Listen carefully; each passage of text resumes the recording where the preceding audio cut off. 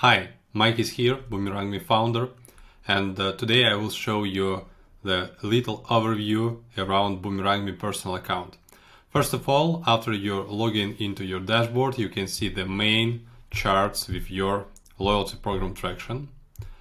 In the header section, you can see your name, your active plan, and if you tap on the plan button, you can understand what features are available in your account and what features are unavailable.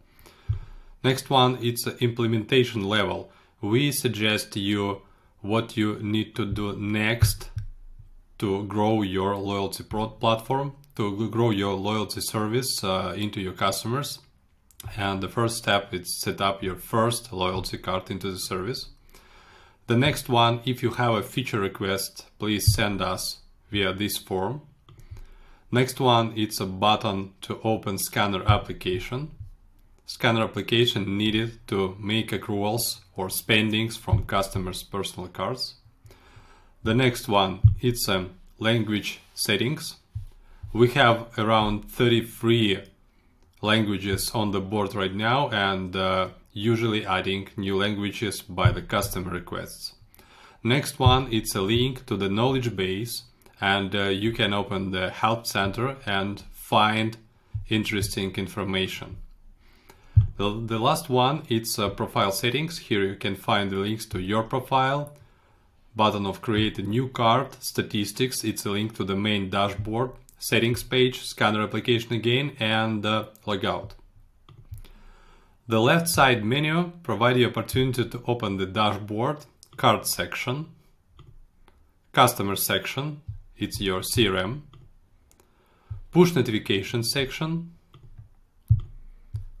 geolocation section, managers, and the settings.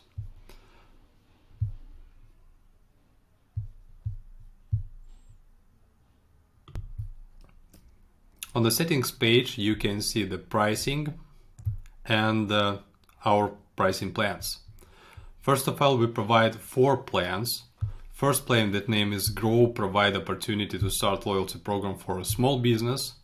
Business plan provide more features including 10 promotions, 10 locations, 50 managers and unlimited cards and push notifications of course. Agency plan we are designing it especially for agency, digital and marketing agency owners who want to resell our product by the white label with their terms, I mean pricing and currencies for their countries. And enterprise plan that we provided by demand by the customer request with uh, custom limits and custom feature sets. Uh, below you can understand the comparing between the plans more deeply and choose your needed plan. The next section is a personal settings. Here you can upload your image, change your personal data, correct your email, phone, and uh, change the password, of course, change your time zone and country, and uh, delete your user if you don't not need uh, to use in Boomerang Me in the future. The next step is the integration section. Here you can find how many integrations are available in your plan, APK for integration with third-party systems, and available integration connectors. We already integrated with Integrately, Zapier, Pabbly, Connexit, and uh, WooCommerce and Shopify integration at this stage in the progress.